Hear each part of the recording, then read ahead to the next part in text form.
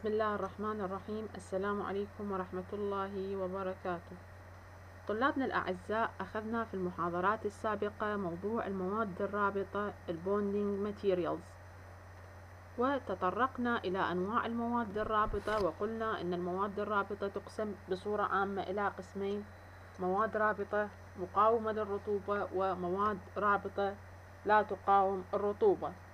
وأخذنا كل نوع بالتفصيل محاضرتنا اليوم إن شاء الله راح تكون عن نوع آخر من أنواع مواد البناء وهي مواد التطبيق أو ما تعرف بمواد الإكساء ال flooring materials. من أشهر مواد الإكساء المعروفة هو الكاشي. مواد التطبيق أو ما تعرف بمواد الإكساء للأرضيات ال flooring materials. تقسم بصورة عامة إلى قسمين. مواد تطبيق عضوية organic مثل الخشب البلاستيك الإسفلت والمطاط. النوع الثاني من مواد التطبيق هي مواد التطبيق غير العضوية ال inorganic مثل الكاشي الخرسانة والحجارة. الكاشي tiles هو مادة خرسانية تعمل لتقوية الأرضيات. التي لها مقاومة مقاومة التآكل وإعطاء سطح مستوي. صالح للاستعمال ومقبول فنيا. يكون الكاشي بأبعاد مختلفة. عادة أبعاد الكاشي تكون أما عشرين في عشرين في اثنين سنتيمتر عشرين الطول في عشرين العرض في السمك. سمك الكاشي اثنين سنتيمتر أو يكون بأبعاد خمسة وعشرين في خمسة وعشرين في اثنين سنتيمتر أو ثلاثين في ثلاثين في ثلاثة سنتيمتر أو أربعين في أربعين في أربعة سنتيمتر. خلطات الطبقات ال mixing layer عادة يتكون الكاشي من طبقتين. عادة يتكون الكاشي من طبقتين بصورة عامة هي طبقة الوجه وطبقة الظهر. طبقة الوجه ال facing layer تكون عادة خلطة هذه الطبقة لينة. خلطة طبقة الوجه تكون عادة لينة أي نسبة الماء فيها عالية. والمواد الأولية لطبقة الوجه هي الإسمنت الأبيض ومسحوق الحجر وقطع من الرخام. الطبقة الثانية للكاشي هي طبقة الظهر ال backing layer في هذه الطبقة تكون الخلطة لها جافة. على اعتبار أن الماء الزائد من مونة الوجه من مونة طبقة الوجه راح ينتقل إليها. والمواد الأولية لهذه الطبقة هي الرمل والحصى والإسمنت الاعتيادي.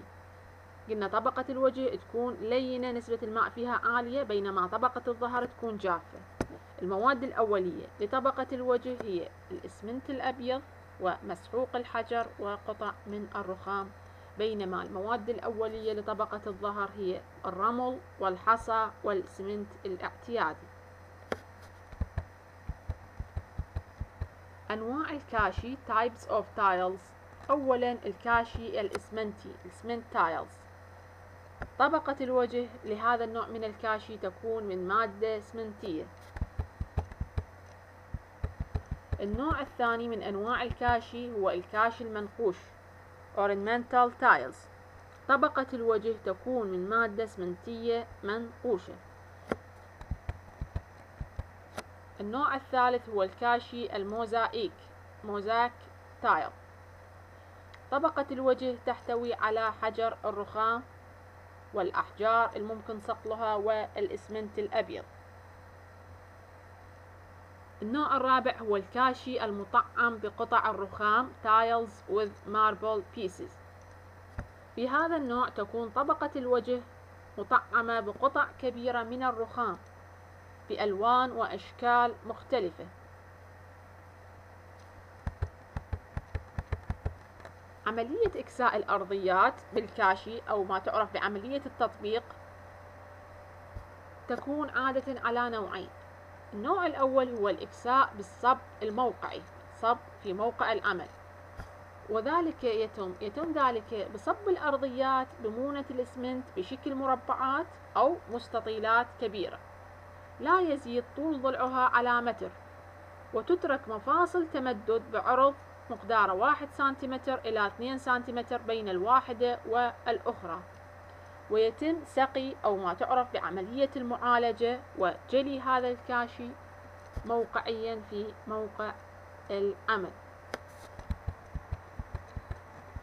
النوع الثاني من أنواع الإكساء بالكاشي هو الإكساء بالكاشي مسبق الصب. هذا النوع يتم ذلك بكبس المواد الخرسانية في قوالب حديدية بأبعاد مربعة 20 سنتيمتر أو 30 سنتيمتر أو 40 سنتيمتر مثل مثل ما وضحنا سابقا أبعاد الكاشي. أو أبعاد مستطيلة حسب الطلب وبسمك يتراوح من 2.5 إلى 5 سنتيمتر. تكون عملية تثبيت الكاشي على الأرضيات بمونة الإسمنت المقاوم للأملاح. سبق وأن أخذنا أنواع الإسمنت وكل نوع واستخداماته. هنا في عملية تثبيت الكاشي في عملية الإكساء. على الأرضيات نستخدم الإسمنت المقاوم للأملاح مع الرمل بنسبة مزج واحد إلى أربعة.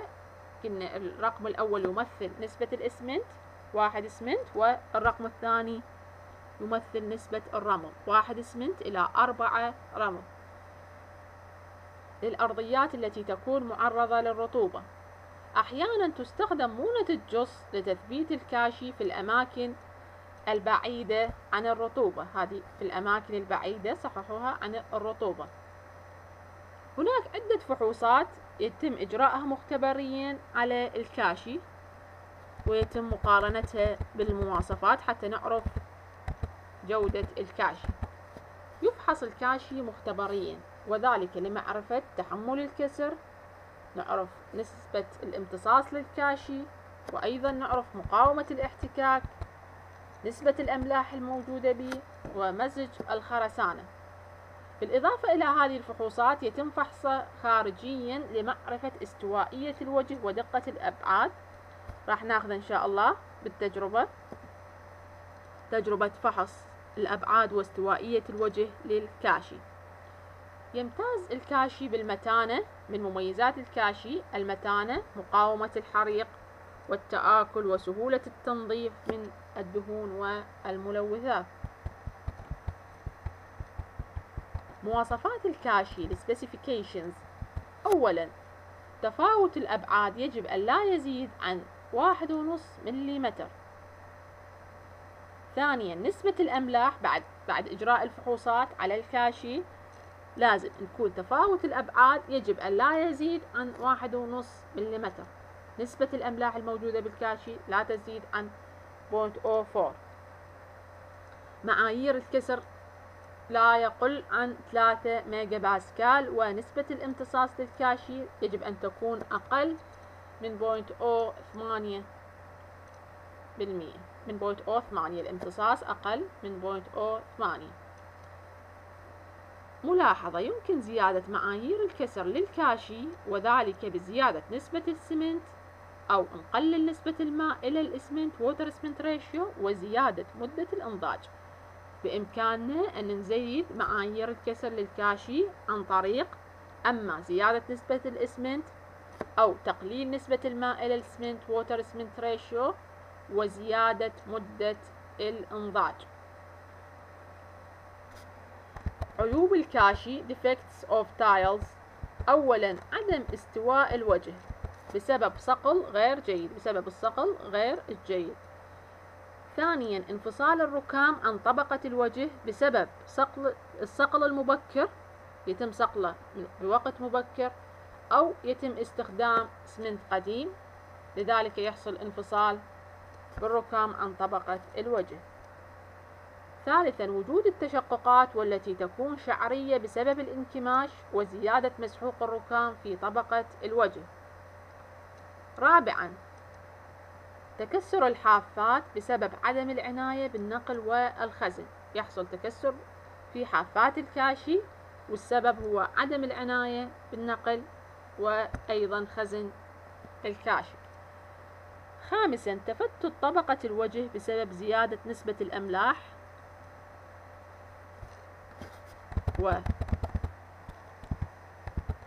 كثافة الكاشي. راح ناخذ كثافة الكاشي. تعتمد الكثافة الكلية للكاشي على كثافة طبقة الوجه وكثافة طبقة الظهر وتحسب الكثافة الكلية للكاشي عن طريق القانون التالي.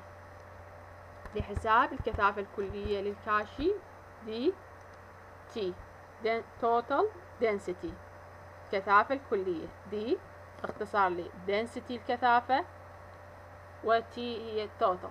الكثافة الكلية للكاشي تساوي F VF زائد B VB على ال V ال DT شو تمثل قلنا؟ قلنا تمثل ال total density.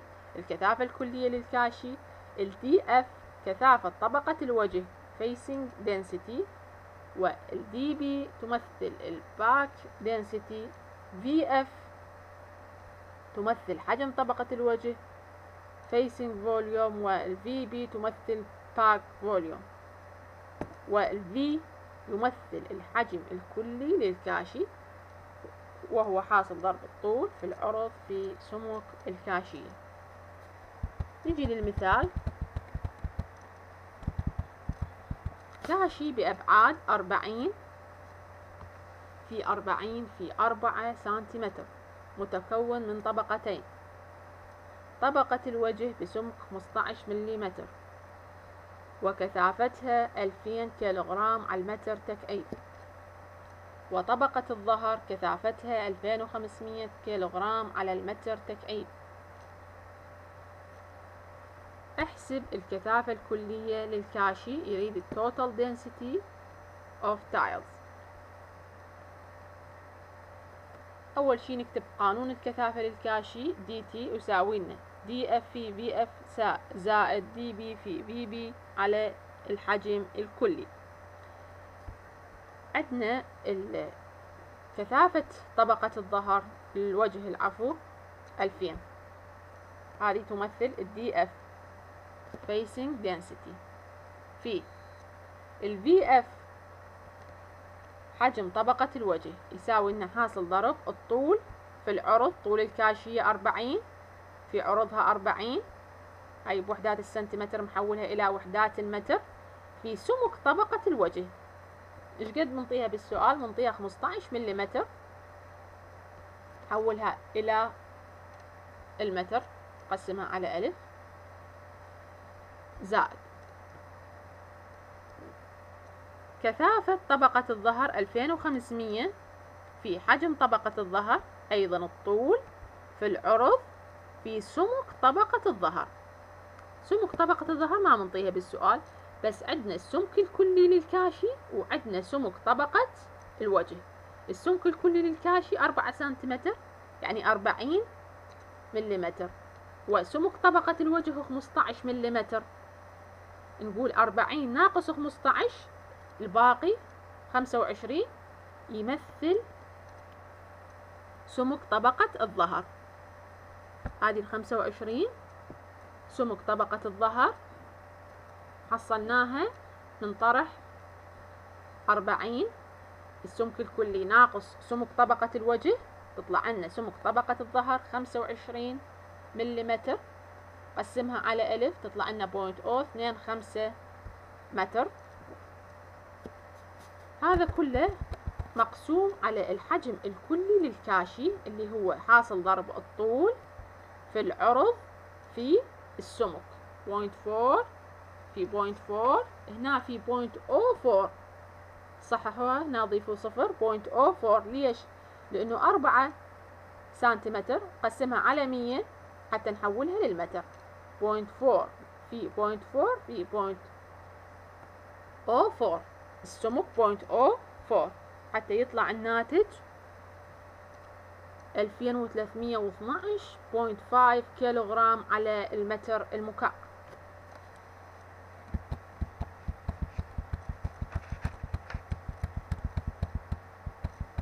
الموزايك المزجج والكاشي الفرفوري والسيراميك.